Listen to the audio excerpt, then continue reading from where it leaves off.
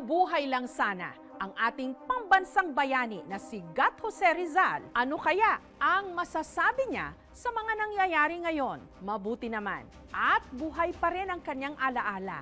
Lalo pat napakarami niya palang naiwang memorabilia na hot sa mga auction.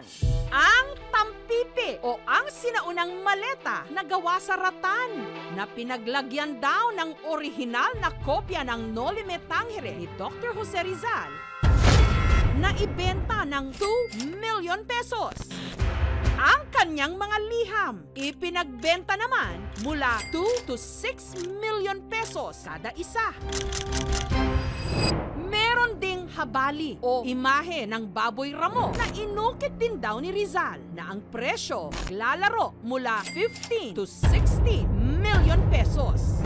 Ilan lang ang mga ito sa mga gamit ni Dr. Jose Rizal na ipinagbenta sa auction house na ito sa Makati, ang Leon Gallery. Yung ibang letters kasi niya, ma-emotional. Like yung letter niya sa mga magulang niya galing sa Spain. Mahal kong ina, huwag kayong mangamba. Magtiwala tayo sa Diyos at sa katapatan ng ating layunin. Nakasabi doon, nagkumusta siya sa pamangkin niya, kinukumusta niya yung ari-arian nila. I think nagme-mention din sila, may utang sila. Makikita mo yung pagkakatao talaga ni Rizal sa isang letter. Rare finds kung ituring ang mga personal na gamit ng ating pambansang bayani na tinawag nila Rizaliana. Mainit o hot sa mga auction. Marami talagang mga fanatics ni Rizal. Pag mayroon tayong isang item ni Rizal, pinag-aagawan talaga. Yung mga collectors, kung anong mayroon kay Rizal, gusto talaga nilang makita. Mayroon tayong mga consultants, especially sa mga historical documents. Yung family, kakilala natin. Nag-contact sila sa atin kung anong mayroon sila. Pero ang nakapagpalaraw ng record-breaking bid sa kasaysayan ng kanilang bidding, ang wood sculpture na ito ni Gat Jose Rizal na isa rin daw lechon tray na pinaniniwala ang inukit mismo ng ating pambansang bayani. Tinawag itong The Filipino na ibenta noong 2018 sa halagang 17 million 520,000 pesos. I think it- it's the highest ever paid for a work by our national artist or any Rizaliana. Yun kasi gawa ni Rizal ang Filipino kasi nakita niya yung lakas ng Pinoy nandoon. No? mga mamahalin pero mabenta online. Napapanahong pag-usapan, lalo pat ngayong June 19, 159 years old na ang ating pambansang bayani. Ang OFW mula Riyadh, Saudi Arabia na si June, pinakaiingatan naman ang kanyang vinyl o plaka na naglalaman ng recording kung paano raw tamang bigkasin ang huling tula na isinulat ni Rizal, ang Mi Ultimo Adios. Nabili raw niya ito sa online auction ng isang website sa Spain. Surprisingly, walang ibang nag-participate kundi ako lang. Took three weeks for me to receive the vinyl. Kaya nung natanggap ko, syempre tuwan-tuwa ako kasi nga, I mean, very rare to eh. Parang jackpot nga eh, na nakuha ko to eh. Nabili raw niya ito sa halagang 300 reals o humigit kumulang 4,000 pesos. Naka-record dito yung Ultimo Adios ni Jose Rizal, na 1913. Siguro he was a well-known celebrity sa Manila. Spanish-speaking, pero siguro Filipino. Tapos ni-record niya yung tula Aber, pakinggan nga natin ang plaka ni June. Dorada, ración del sol querida, perla del mar de oriente, nuestro perdido Edén. A darte voy alegre la triste mustia vida.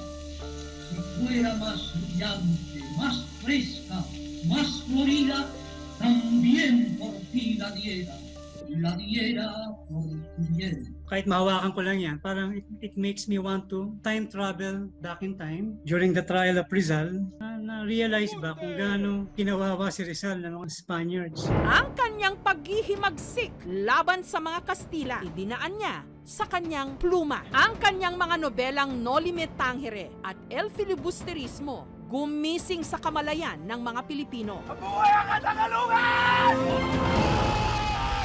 Sobrang ang kalapastanganan ninyo sa amin.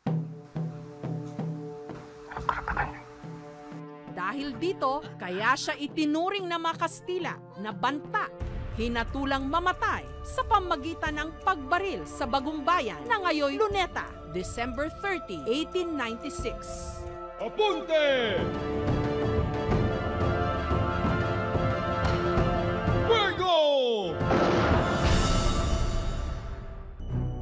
Execution kay Dr. Rizal dokumentado at ang isa sa pinaniniwalaang unang kopya ng litrato nito hawak ngayon ng antique collector na humiling na itago na lang natin sa pangalang Vince. early copy siya ng late 19th century hanggang early 20th century. Unlike yung mga reproduction na print, iba na itsura.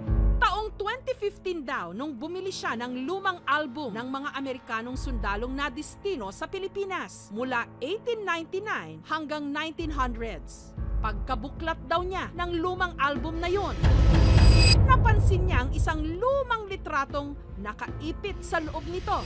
At nung kanya raw itong titigan, nagulat siya sa imahe.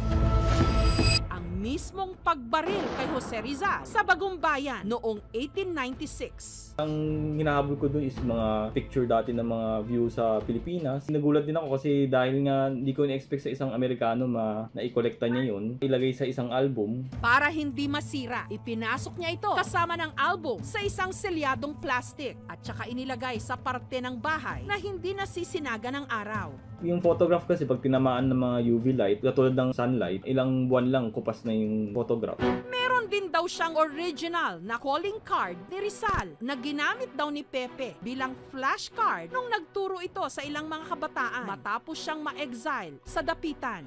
Hawak din niya ang cufflinks o ang butones na may enamel coating na ginamit ng ilang katipunero at pocket watch o relo na may nakaukit pang imahe ng pambansang bayani. Gusto ko siya ma-preserve at matabi ng maayos, mapakita din sa mga next generation. Lahat ng mga bagay na nagbibigay pugay or nagdadala ng additional kalinawan or insight sa mga buhay ng mga bayani natin ay napaka-importante because it's directly related to our national identity nagsasabi na ang mga memorabilia ni Rizal dapat daw nasa mga pampublikong museum at hindi sa kamay ng private collectors. Mas mabuti pinagbenta ito sa auction kasi nagkakaroon tayo ng high resolution copies online. That is accessible. The problem kasi, kung ilagay natin sa institutions natin, may budget ba tayo para sa upkeep nitong mga documents na ito? Para mag-maintain ng papel, no? Yung sulat ni Rizal, mahal, no? Kasi kailangan may temperature control, merong mga safeguards tayo para hindi masisira. Milyones man ang halaga ng mga memorabilia ni Rizal. Higit pa sa pera ang dapat maalala sa kanya, lalo na ang mga iniwan niyang aral para sa bayan. Sobrang kalapastangan ninyo sa akin. paglaban sa kabuktutan at pagmamahal sa ating inang bayan. Apunte! Fuego! Thank you for watching mga kapuso. Kung nagustuhan niyo po ang videong ito, subscribe na sa GMA Public Affairs YouTube channel and don't forget to hit the bell button for our latest updates.